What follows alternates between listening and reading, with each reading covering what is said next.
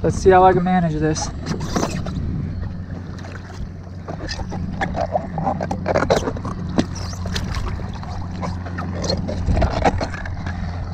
Well, I can't. I can't.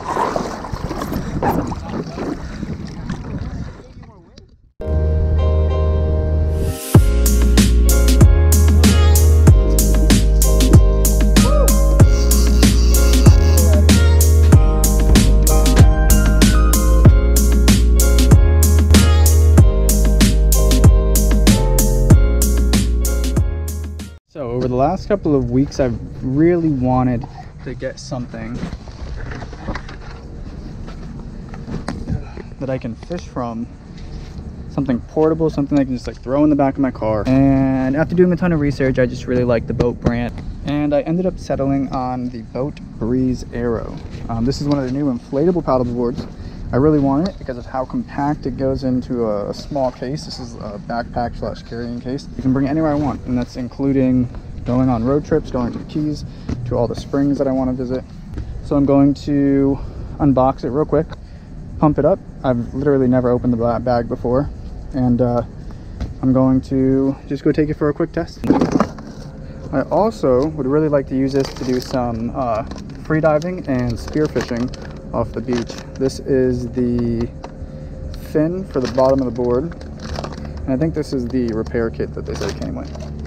Comes with a pump. It also comes with a paddle and some tools. Not used to it, but once I get the hang of it, it will be much quicker for me to do.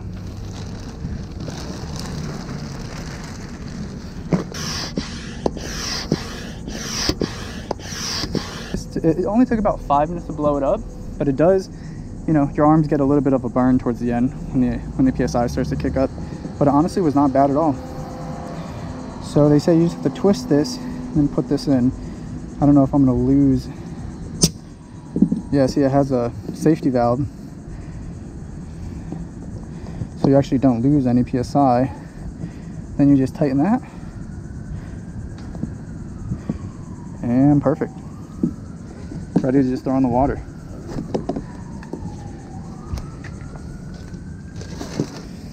I have the nice vans with the Japanese laces. I love these things.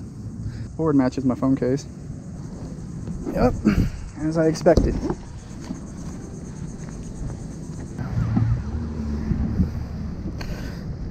Oh, I just realized I forgot to take the fins off and I forgot my big fin.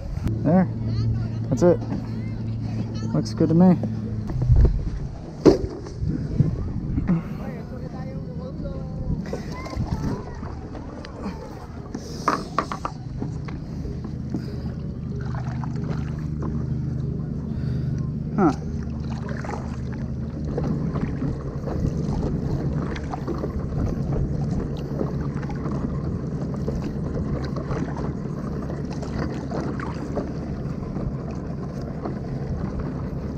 Right away, initial impressions are this thing is extremely stable, way more stable than I thought. Um, more stable than kayaks that I've been on. I thought it wasn't going to be stable at all. And it actually glides very easily through the water. Not sure why, but uh, it is impressing me. So let's see. Okay, it does not feel tippy. I can. Let's see if I can stand up. Wow. This is nice. This is very nice. If I stand up, I definitely want to lengthen the paddle. Wow, this thing is perfect. If I want to compare it to a kayak, since I've only really ever been on kayaks, it doesn't track as well uh, as a traditional kayak that I've been on. So the front moves a little bit when you're paddling, but it's not enough to like cause any issues, especially not in this calm water right here. Doesn't have as much storage, but I didn't want something with storage. I wanted something that I can put like a spear gun on or just bring a fishing pole with me and put like a little backpack with gear in the front and that was it. I think I have a very good low center of gravity and I can stand up on almost anything I don't think anything feels tippy to me. um, no matter what kayak or anything I've been in. But I can definitely see much bigger, taller people who are uncoordinated or unbalanced stand on this thing. And this is the smallest board they have actually that's inflatable. It's just such high quality. You know, there are much cheaper inflatable paddle boards that you can get that aren't BOTE. BOTE is a very premium brand and it's it's going to be a little bit more expensive than most other brands, but just the quality of it. Um, it has a two-year warranty. I think on the website it said two-year warranty. I didn't even confirm that. To the dock.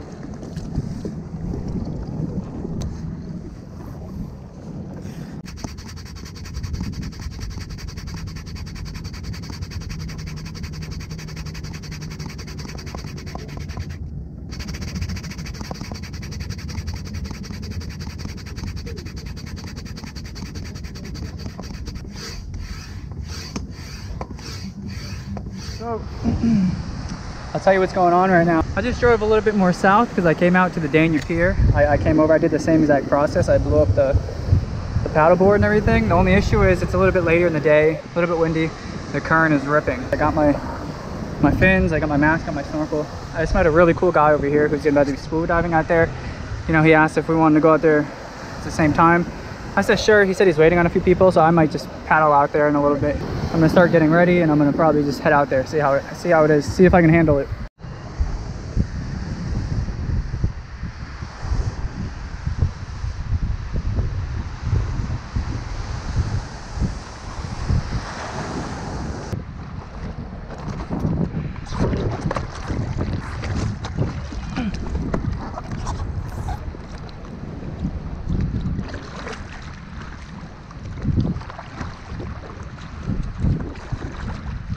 Yeah, like what would you want me to tell you? Me? Um, I've never, I've never done that. Float. What? I'm floating, look. I've never done that before, but you can, you can get onto the back I actually of my flag back there. Let's see. You can't, you can't. Yeah, we'll try. I'll give you, I'll give you the first lobster I get. Would you? What's your name?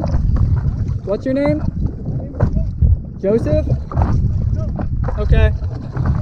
I'm Nick. Yeah.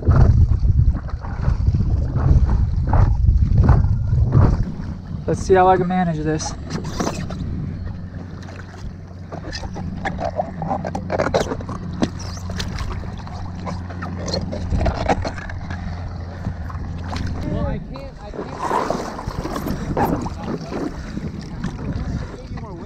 Looks like we found the jacks. I just hopped out of my kayak, kayak, out of my paddleboard. There's my friend Joseph right there, who I just met. He's scuba diving, so he's sitting way deep down there, right in the bottom. Let's do this.